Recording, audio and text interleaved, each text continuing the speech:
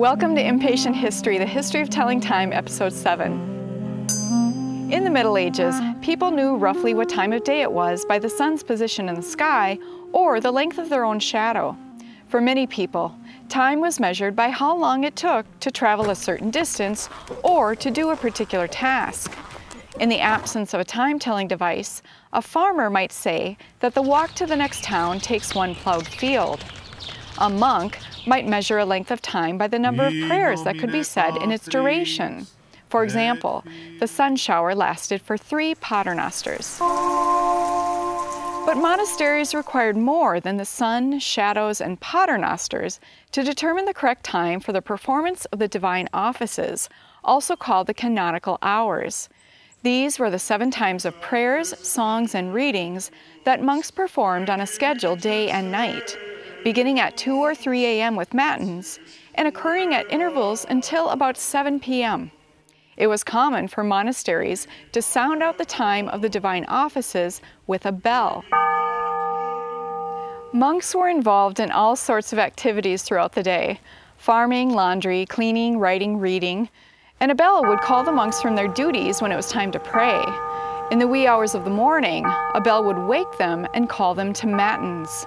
We've all heard the famous French nursery rhyme, Frere Jacques. Frere Jacques Brother Jacques has overslept and neglected his duty to sound the bells to wake the other monks. Until mechanical clocks were invented in the 13th century, how did monks know when to sound the bells? Ding, ding, dong. At night, the monk tasked with watching the time would use the stars, a water clock, a candle clock, or even the cock's crow to determine the timing of the morning hour. For day or night timekeeping, many monasteries had water clocks into the high Middle Ages, but another very handy tool was the astrolabe. Astrolabe is a term from Latin and Greek that means star taking or star grasping. It is a device used for calculation and observation whose essential design can be traced back to the 2nd century AD.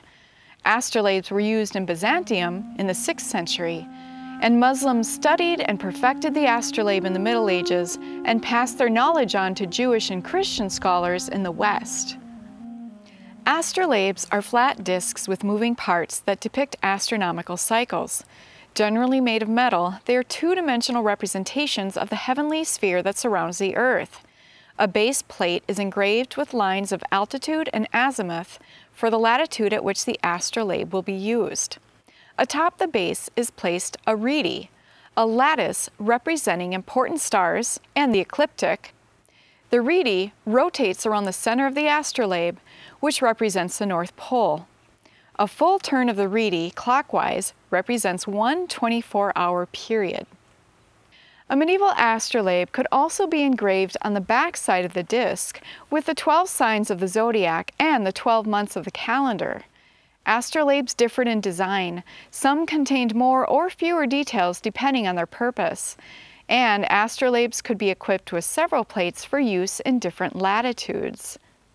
As a unit, the astrolabe enabled the skilled user to determine the time, night or day, based on the position of the stars or of the sun.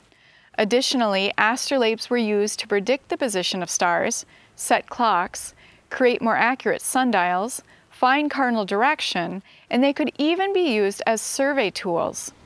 They were used aboard ships to determine latitude until the development of the sextant in the 18th century. In Islamic lands, public clocks were not a popular item, yet muezzins needed to track the time to call out for prayers that had to occur at particular times day and night. Muezzins sometimes used astrolabes to determine the time to announce the prayers. We've covered many kinds of historical time-telling devices. Shadow sticks, sundials, and water clocks were used as early as 3000 BC. The early Middle Ages brought us candle clocks and fully realized astrolabes. As we come to the 13th century, scholars studied the ancient wisdom of the Greeks and Romans that was reintroduced at universities throughout Europe. We're entering the period of history known as the Renaissance, and at the beginning of this time, the next great advancement in timekeeping was developed. Find out what that was in our next episode of Impatient Histories. Thanks for watching.